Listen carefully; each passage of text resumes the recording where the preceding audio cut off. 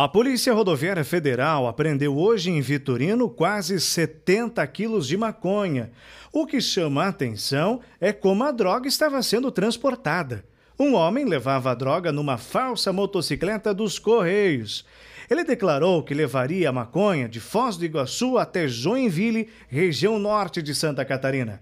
Uma equipe da PRF em deslocamento pela PR-280 deu ordem de parada à motocicleta dos Correios, com placa de Foz do Iguaçu. O motociclista tentou fugir, mas acabou parando o veículo.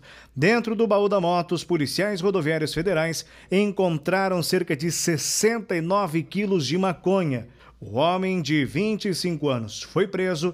Ele é morador de Foz do Iguaçu. A ocorrência foi encaminhada para a Polícia Civil de Pato Branco.